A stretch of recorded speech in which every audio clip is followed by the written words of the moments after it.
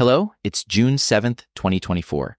A recent AARP survey found that over 40% of workers aged 40 and above have faced age discrimination in the past three years.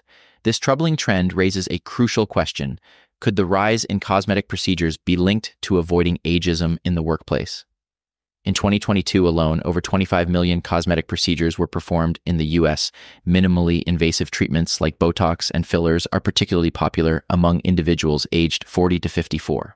This age group accounts for nearly half of all procedures, highlighting a keen interest in maintaining a youthful appearance for both personal and professional reasons.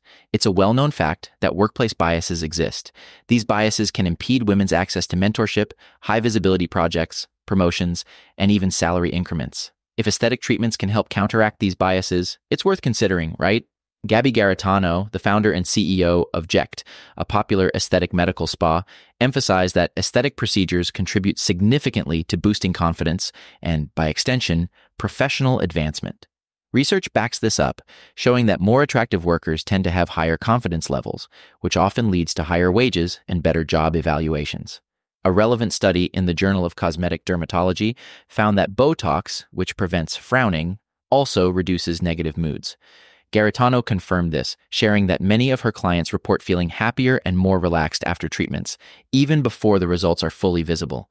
It's clear that for some, these procedures aren't just about aesthetics, they're a means to feel more confident and capable in professional settings.